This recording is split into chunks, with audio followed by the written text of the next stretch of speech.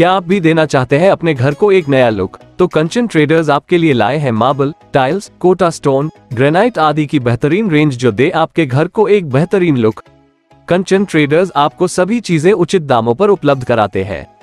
और सेल के साथ साथ कंचन ट्रेडर्स मार्बल्स और ग्रेनाइट की सर्विस भी प्रोवाइड करते हैं और फ्री कंसल्टेंसी भी करते हैं।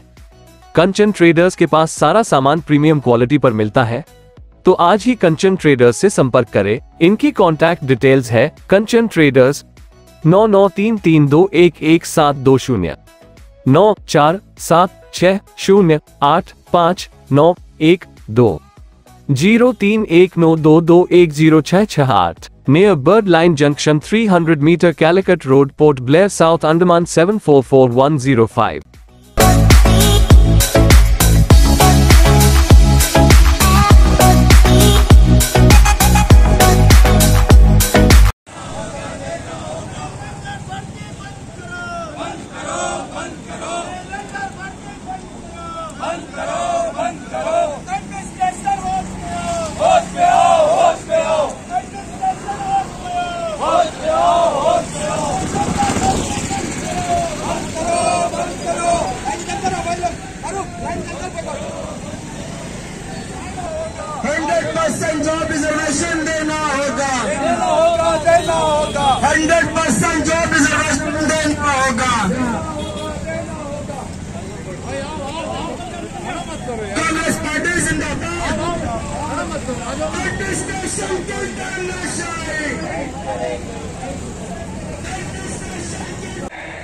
hundred percent job only for islanders ये बहुत बड़ा ज्वलित मुद्दा है पूरे अंडमान के वासियों के लिए।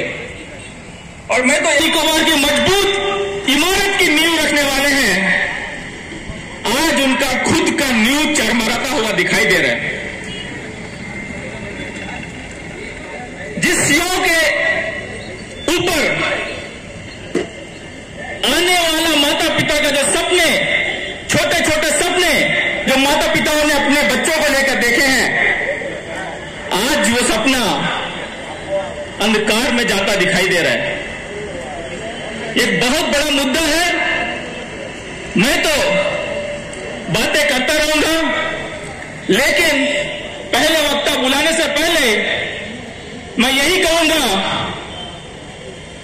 खाली खंडों पर, खाली खंडों पर थोड़ी सी भार चाहिए। बेरोजगार हो साहब, रोज़गार चाहिए।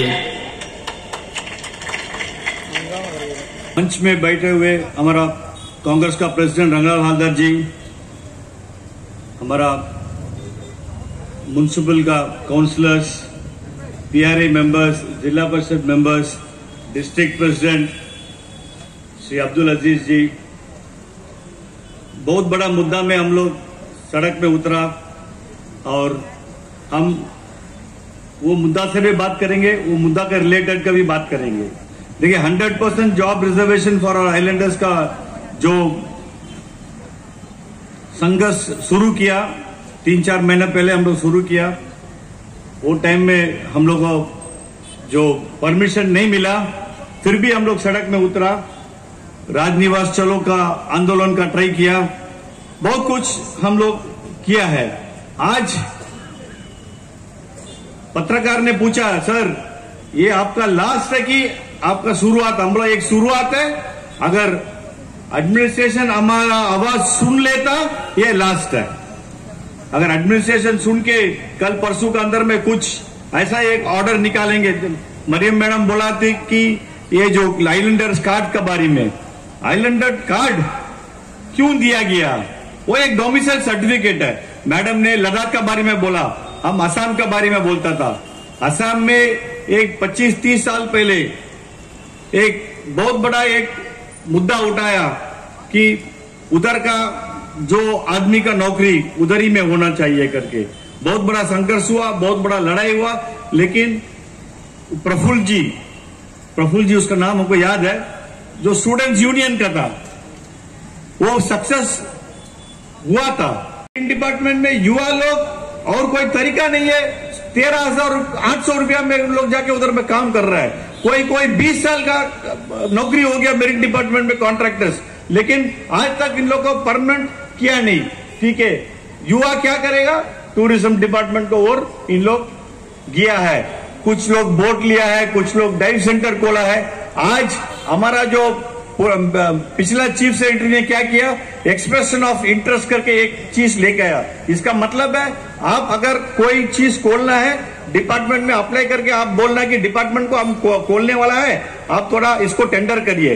टेंडर करके गवर्नमेंट फिक्स करेगा रेट गवर्नमेंट को आप पैसा देना पड़ेगा। एक आदमी का ऊपर आप पैसा देना पड़ेगा। इन्वेस्टमेंट वो करेगा, काम वो करेगा, लेकिन गवर्नमेंट लाइसेंस फ़ी नहीं लेगा। लाइसेंस फ़ी होने से साल में एक बार देने से फिर भी ठीक है। एक आदमी के ऊपर इन लोग पैसा पूछता है।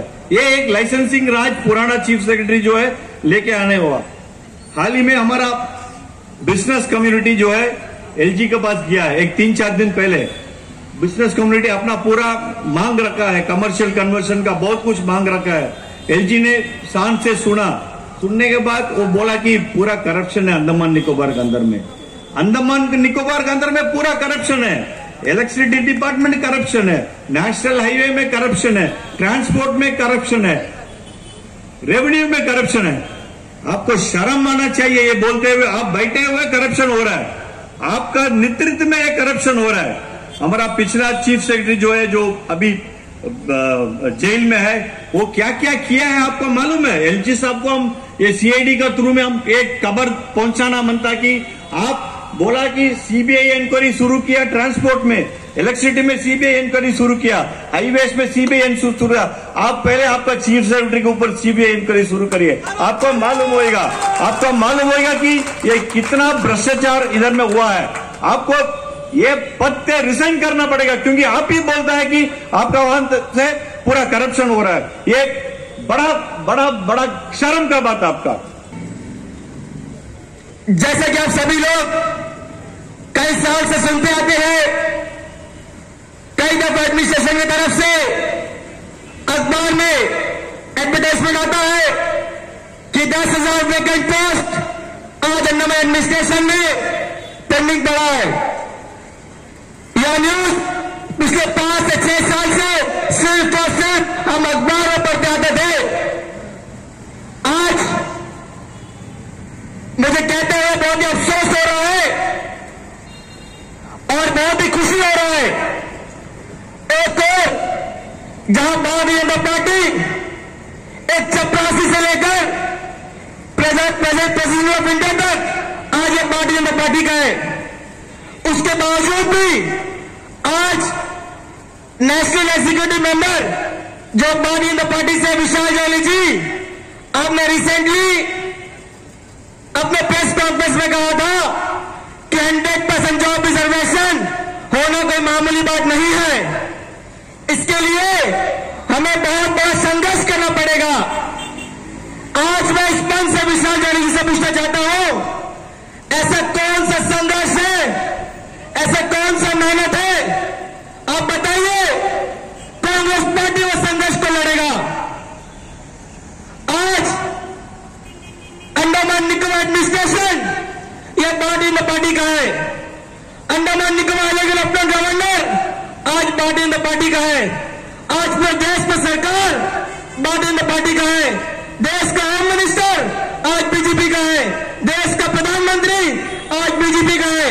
देश का प्रेसिडेंट ऑफ़ इंडिया से लेकर वाइस प्रेसिडेंट ऑफ़ इंडिया तक आज हर कोई बीजेपी का होने बावजूद भी यह बात कैसे विशाल जैन जी कहते हैं कि इस मुहिम को लड़ने के लिए बहुत बहुत मेहनत लगेगा। 2018 में इस द्वीप समूह में इस देश के प्रधानमंत्री नरेंद्र मोदी जी आए थे।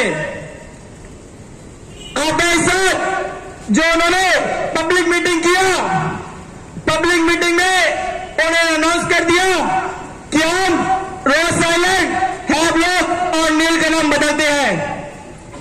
जो काम हमारे देश के प्रधानमंत्री का कहने से आ सकता है तो इस चीज़ को लेकर हंड्रेड परसेंट जॉब रिजर्वेशन को लेकर देश का प्रधानमंत्री क्यों खामोश पड़ा है? ये अंडमान निकोबार बीजेपी पार्टी क्यों खामोश पड़ा है?